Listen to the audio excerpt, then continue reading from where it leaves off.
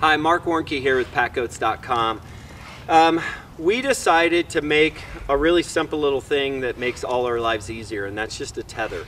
We're going to call it the goat tether. And the reason is, is because there are so many times where just having a couple of these around the pasture would help with vaccinations, would help with just putting goats in different places, tying goats up in the hauler, tying up in the horse trailer, just grabbing a goat and sticking him somewhere.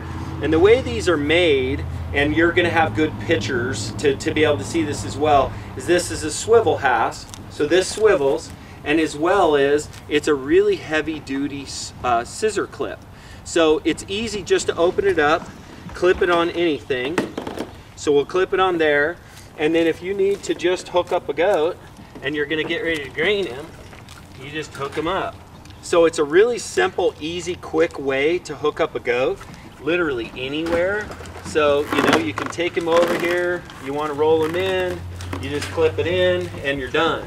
So if you need to do that in your goat hauler, you need to do that in a fence, you need to do that when you're feeding babies on the grain. It's just a perfect little 20 inch leash that makes it super easy just to hook up to random stuff and they're cheap.